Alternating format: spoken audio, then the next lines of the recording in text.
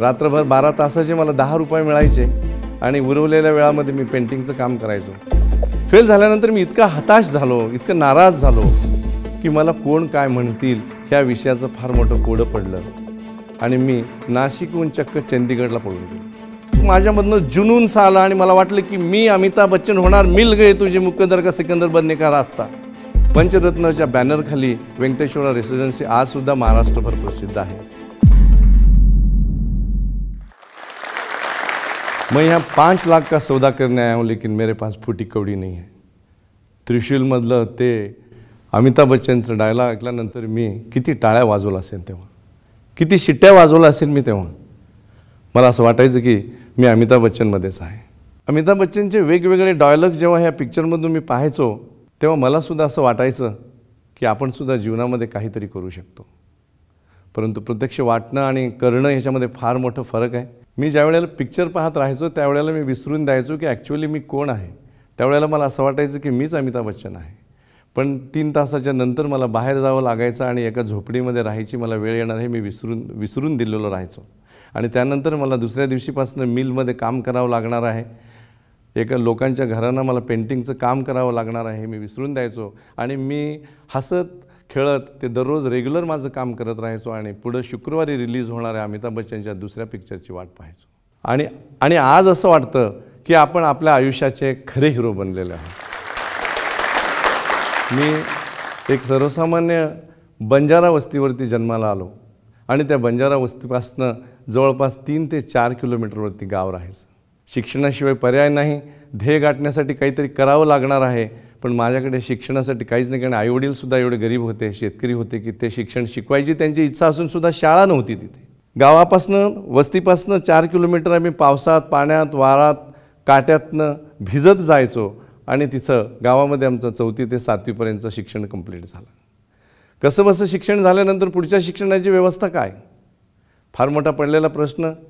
आई कर्नाटकमधली असल्यामुळे तिनं मामाकडे आसरा मागितला आणि मला मामाच्या गावाकडे आळंदला मला शिक्षणाला पाठवलं आणि तिथं मी सातवीपर्यंतचं शिक्षण हॉस्टेलमध्ये घेऊन शिकलो.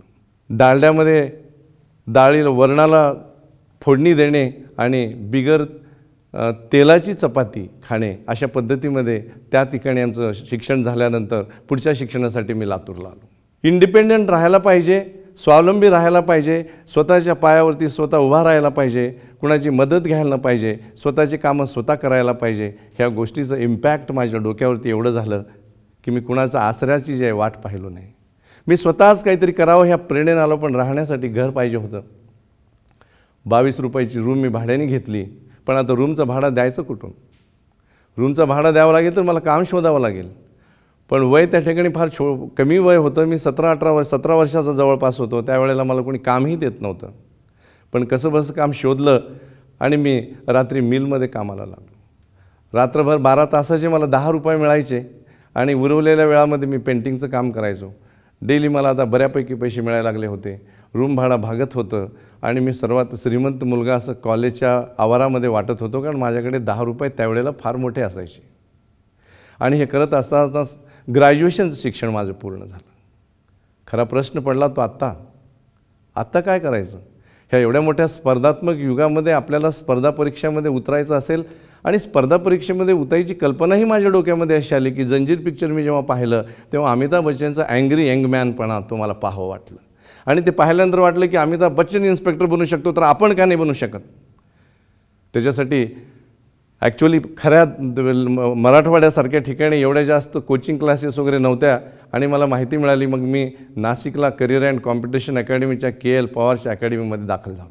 महाराष्ट्रातील हजारो तरुण त्या ठिकाणी जे उपस्थित होते. उडान सिरियल चालू होतं त्यावेळेला प्रत्येकाला वाटायचं की आपण डिवायस पी व्हावं प्रत्येकाला वाटायचं की आपण पी एस आय व्हावं प्रत्येकाला वाटायचं आपण इन्स्पेक्टर व्हावं आणि मलासुद्धा वाटत होतं. मी सुद्धा जोर लावला दम लावला पण पैसे भरण्यासाठी फी भरण्यासाठी पैसे नव्हते. आम्ही सरांना रिक्वेस्ट केली आणि सरांनी मला मेहरबानी केली फ्रीमध्ये मला ॲडमिशन दिलं. पण फ्रीमध्ये किती दिवस राहावा हाही माझ्यापुढं प्रश्न होता. आणि शेवटी प्रिलिमिनरी एक्झामचा रिझल्ट आला मी प्रिलिमिनरी एक्झाम पास झालो. पण प्रिलिमिनरीच्या नंतर जे मेन एक्झाम e-, e-, होती आणि मी दुर्दैवानं पहिल्या परीक्षेमध्ये मेन एक्झाममध्ये मी फेल झालो. फेल झाल्यानंतर मी इतका हताश झालो इतकं नाराज झालो की मला कोण काय म्हणतील ह्या विषयाचं फार मोठं कोडं पडलं. आणि मी नाशिकहून चक्क चंदीगडला पळून गेलो. चंदीगडला पळून गेल्यानंतर तिथं एक मा माझ्या मित्राच्यामुळं मला एक लिंक लागलेली होती आणि गोल्डन फॉरेस्टमध्ये मी तिथं कामाला लागलो. गोल्डन फॉरेस्टमध्ये कामाला लागलो माझी गरज भागत होती पण मी अस्थिर होतो. मी काय करतो आहे किंवा मी काय निर्णय घेतो हे मला कधी समजत नव्हतं की तो प्रॉपर वे नाही आहे असं मला वाटायचं. कारण स्वप्न फार मोठी पाहिलेली होती गोल फार मोठे होते पण प्रॉपर ट्रॅकच मला मिळत नव्हता. आणि प्रॉपर ट्रॅक दाखवणारंही कुणी मार्गदर्शक मला नव्हतं. गावाकडे सगळ्यांना कळालं की मी नाशिक सोडून पळून गेलो आहे प्रत्येकाने शोधलं कुठून तरी लिंक लागली आणि परत मला लातूरला घेऊन आणत आता लातूरला आला आणि स्पर्धा परीक्षेचा अभ्यास करायचं की काय करायचं? परत एक वेळेला ते आठवायचं मांडवा बीच एक्सपोर्ट इम्पोर्ट यहाँ का माल वहां भेजो. आणि मला वाटलं की आता आपल्यामधल्या अमिताभ बच्चनला जागवल्याशिवाय आपल्याकडे काहीच नाही. हताश होऊन मी एका थिएटरमध्ये जाऊन बसलो. मुकदर का सिकंदर पिक्चर चालू होतं. आणि ते पिक्चर पाहत असताना एक माझ्यामधनं जुनून सा आला आणि मला वाटलं की मी अमिताभ बच्चन होणार मिल गए तुझे मुकंदर का सिकंदर बनने का रास्ता. आणि मग मी तिथून बिझनेसच करायचे ठरवलं आणि बिझनेसच्या शोधामध्ये गेलो. आपण जो सोचते आहे व पाते आहे तसं मी शोधत राहिलो की मी एक्सपोर्ट किंवा इम्पोर्टचं काहीतरी बिझनेस करावं. फायनान्शियल परिस्थिती आपल्याकडे काहीच नाही पण बिझनेस मात्र करायचं. आणि अशा कंडिशनमध्ये ॲटो इंडियाचं एक्झिबिशन बँगलोरमध्ये भरलेलं होतं. मी त्या ठिकाणी गेलो की एल पी जीवरती फोर व्हीलर गाड्या चालणार आहेत. पंधरा पैसे ते वीस पैसे फोर व्हीलर गाडी चालणार आहे. Unbelievable but true you can run your vehicle fifteen percent to twenty percent असं मी ॲड वाचली. त्यानंतर मग मी ॲटो इंडियामध्ये दिल्लीला गेलो. त्यानंतर मी ते डिस्ट्रीब्युटर कोण आहे त्याच्यासाठी मला गुजरातला जावं लागलं. आणि त्यांनी म्हणलं की अरे आप तो बहुत छोटे हो. आपके पास तो कोई पैसा वगैरह नहीं है. या तो डिपॉझिट देना पड़ेगा आपको. तो मैं सर मेरे पास मेरे पास पैसा बहुत है मैं आपको दूंगा। बताइए आपकी टर्म कंडीशन क्या है? मैंने बोला कि आपको अगर हंड्रेड एल के किट बेचने की आपकी अगर लिमिटेशन है तो मैं आपको 500 किट बेच के बताऊंगा। ये मेरे पास इतना पैसा है। त्याने माझं टाईम कदाचित चांगलं त्याने माझ्यावरती विश्वास केलं आणि आपको जो है डिस्ट्रीब्युशनशिप दे दिया। डिस्ट्रीब्युशन घेतल्यानंतर मी काही मेकॅनिकल इंजिनियर नाही मी तर काही मेकॅनिक नाही आहे पण फोर व्हीलर गाड्याला गॅसकिट बसवायचं बसवायचं कसं? मला नेहमी वाटायचं की वेगवेगळ्या हॉर्स पॉवरचे घोडे होऊन पळण्यापेक्षा मी स्वतःच एक जॉकी आणि ते माझ्या डोक्यामध्ये आलं कारण मी रेस कोर्समध्ये पिक्चर्समध्ये ते रेसमध्ये घोडे पळत असताना पाहायचो पण क्रेडिट त्या जॉकीला मिळायचं. आणि मी म्हणलं की वेगवेगळ्या त्या टॅलेंटच्या लोकांचं सर्च केलं त्यांना एकत्र केलं आणि एल पी जीचं बिझनेस करत असताना मला असं वाटलं मी महाराष्ट्रच नाही कर्नाटक पूर्ण साऊथ नॉर्थ कर्नाटका आणि मराठवाड्याचं डिस्ट्रीब्युशनशिप घेतली. शिवाजी महाराजांनं जसं अनेक किल्ल्यावरती स्वारी केली तसं मी सुद्धा अनेक जिल्ह्यावरती स्वारी केली. आणि यश इतकं मिळालं एवढं भरमसाठ पैसा यायला लागलं की फोर व्हीलरवाले लोक वीस पैसे पंचवीस पैसे किलोमीटर चालू लागली गाडी त्याच्यामुळे ते लोक वेगवेगळ्या शंभर शंभर किलोमीटरच्या ढाब्यावर जेवायला चालले.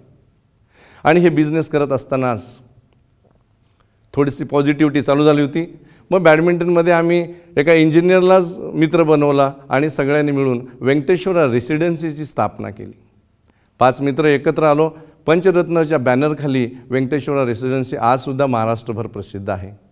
यशाला यश यशाला यश यशाला यश यशाची साखळीच जणू आता सुरू झाली होती.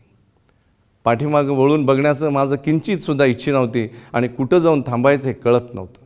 मग असं एक वेळेस मी बेंगलोरला ज्या गेलो पोल्युशन डिपार्टमेंटकडनं मला बोलवण्यात आलं. त्या जगप्रसिद्ध जे सायंटिस्ट आहेत डॉक्टर आनंद पद्मनाभन आणि डॉक्टर टी एस राठोड सरांची institute of wood science and टेक्नॉलॉजीमध्ये माझी भेट झाली.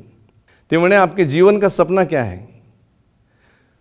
मला त्यांनी विचारलं, आपके जीवन का सपना है? सर, मैं, मेरे जीवन का सपना यह है कि मैं जो है आखिरी तक कुछ ना कुछ करते रहूँ, जिसके माध्यम से हज़ारों किसानों को भी इसका फ़ायदा हो जाए.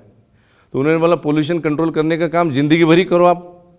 दोन हजार बारामध्ये असं त्यांनी सांगितलं की चंदन कल्टिवेशन फ्युचर में लिगलाइज हो रहा है. चंदन म्हणल्यानंतर मी स्वतःवर हसलो विरप्पन. चंदन म्हणल्यानंतर लोक आम्हाला म्हणायचे लावले का चंदन? चंदन म्हणल्यानंतर लोक उपासानं म्हणायचे की पंधरा वर्षानंतर कोण करोडपती होणार आहे? समाजातल्या वेगवेगळ्या थरातनं फार जास्त टीका करण्यात आली. पण दोन हजार बारापासून मी चंदनाचं रिसर्च केलं आणि दोन हजार पंधराला नॅशनल मेडिसिन प्लांट बोर्डच्या अंतर्गत चंदन लागवड लिगलाईज झालं. माझी तर दिवाळीच झाली. कारण माझं ट्रॅक तयार होता. माझा अभ्यास पूर्ण झालेलं होतं. आणि मी institute of wood science and technology Bharat सरकार पुढं असं मांडलं की वेंकटेश्वरा ग्रीन ग्लोरी ये जो कंपनी है ये दस हजार किसानों के खेतों पे चंदन लगाएगी. और एक आम आदमी जिसने करोड़ का सपना नहीं देखा उसको करोड़ोपती करा करके रहेंगे। आणि मित्रांनो मला सांगण्यामध्ये अभिमान वाटते की आज व्यंकटेश्वरा ग्रीन ग्लोरी जवळपास सोळाशे पन्नास एकरमध्ये चंदन कल्टिवेशन करून सोळा लाख पन्नास हजार झाडं जिवंत ठेवणारी भारतातली पहिली कंपनी आहे.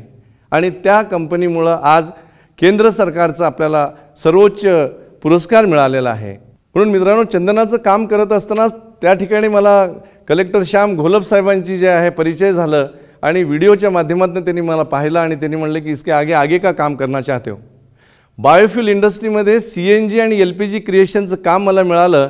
व्यंकटेश्वरा ग्रीन एनर्जीच्या नावाखाली भारतातलं सर्वात मोठं प्लॅन्ट आपण जे आहे लातूरला राबवतो एकशे पाच एकरमध्ये.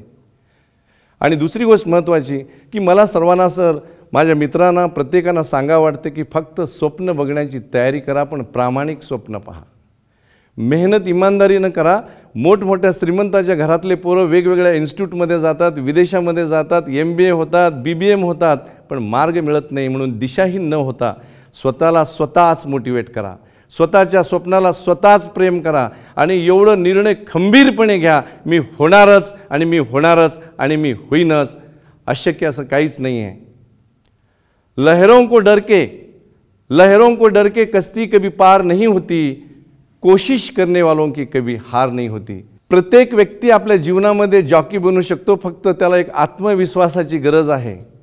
एक त्यानं ठरवलेल्या उद्दिष्टाची गरज आहे त्याच्या ध्येयाची गरज आहे. जर तो ध्येय उद्दिष्ट स्वप्न गोल एकत्र करून एक पॉझिटिव्ह एनर्जी घेऊन तो जर पुढे वाटचाल करत राहिला सातत्य जर त्यांनी ठेवलं तर तो त्याचं गोल तो अचीव करू शकतो.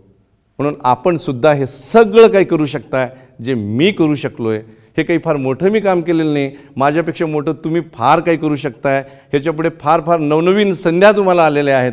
तुम्ही पॉझिटिव्ह झाल्यानंतर पूर्ण दुनिया तुम्हाला नमस्ते करते. पण अंधारामध्ये ज्यानं तुमचा हात पकडले त्या आईवडिलांना विसरू नका.